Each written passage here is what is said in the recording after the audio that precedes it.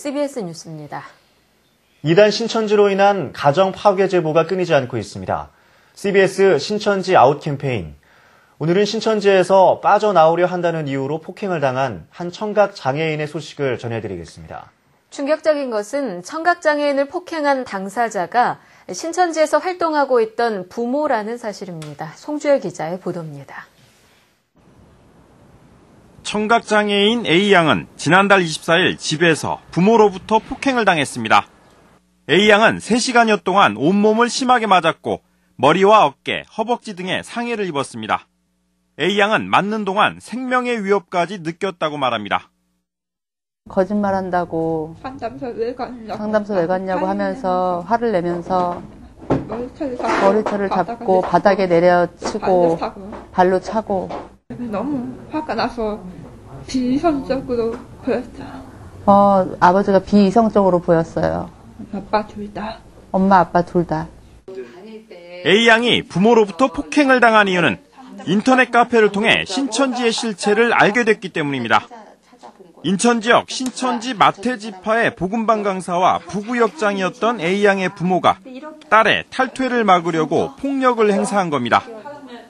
A양은 부모가 인터넷 카페 활동을 한 것이 사단마귀가 쉬었기 때문이라고 말하면서 마구 때렸다며 자신 때문에 신천지에서 제명을 당할까봐 폭력을 행사했다고 말했습니다. A양은 또 신천지에서는 자신과 같은 장애인과 가난한 사람한테는 전도하지 말라고 가르쳐 신천지를 의심하는 계기가 됐다고 말했습니다. 신천지는 진짜 신천지는 진짜 나쁜 곳이라는 걸 나쁜 곳이라는 걸 알게 되었어요. 이제 더 이상 더 이상 신천지로 가는 사람이 없었으면 좋겠어요. 이에 대해 A양의 부모는 딸을 폭행한 사실에 대해 인정하면서도 이단 상담소 측이 딸을 조종하고 있다고 주장했습니다. 애를 지금 데리고 있으면서 폭발을 했니, 어, 감금을 했니 하면서 계속적으로 저런 식으로 우리한테 그렇게 하는데, 저희도 가만히 있지는 않을 거예요. A양은 며칠 전 집에서 간신히 빠져나와 부모를 피해 다니고 있는 상황입니다. A양은 또 부모를 상대로 경찰에 접근 금지 신청을 해놓은 상태며 부모와 다시는 만나고 싶지 않다고 말합니다.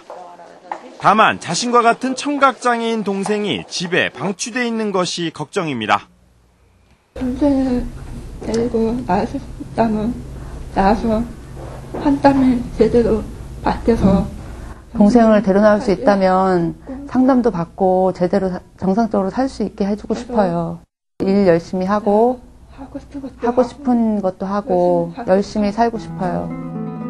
장애인 자녀를 때려서라도 신천지에 남아있게 하려는 부모들의 행위가 가정 파괴를 조장하는 신천지의 한 단면을 보여주고 있습니다.